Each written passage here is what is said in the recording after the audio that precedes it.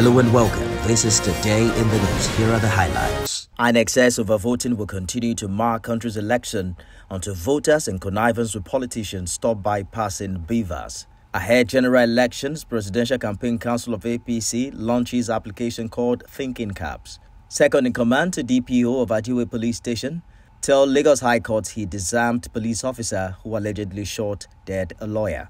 Men of Nigerian Immigration Service in Kaduna arrest at least 500 illegal immigrants in Zaria.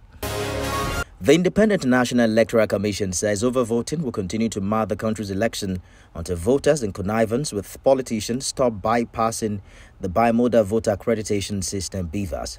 The State Resident Electoral Commissioner Mutiu Agboke was addressing a stakeholders meeting ahead of the mock accreditation to be conducted on Saturday, 4th of February.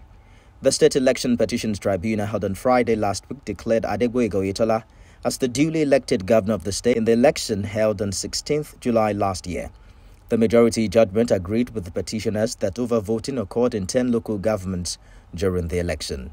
At the stakeholders meeting, Mutiu Agboke warned politicians and voters to shun bypassing BVAS on election day. Ahead the general election, the Presidential Campaign Council of the ruling All Progressives Congress has launched an application called the Thinking Caps to bridge knowledge gap among young Nigerians.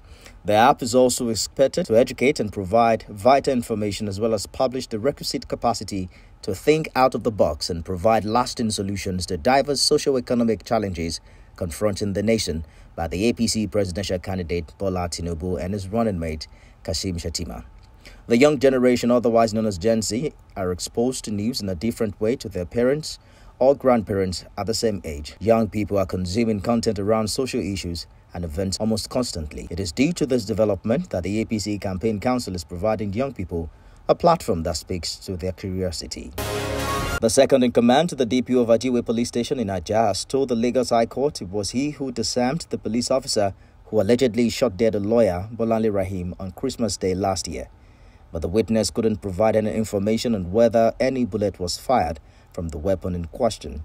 ASP Olusegun Olorunshola is the fifth witness for the Lagos State government prosecuting the trial, which is before Justice Ibironke Harrison, sitting at the Tafawa Balewa Square Annex in Igbosere. He says he and the defendant were on patrol that day, but manning different routes. And that was when he returned to the station that someone rushed in to say that ASP Vandi had shot the pregnant lawyer. He says he then informed the DPO, who then left to bring in the defendant from the hospital where he had been taken to. Men of the Nigerian Immigration Service in Kaduna State have arrested have arrested at least 500 illegal immigrants in Zaria local government area. Operatives of the service have been on what they describe as special operation since the beginning of the year, and the arrest was made after receiving actionable intelligence reports.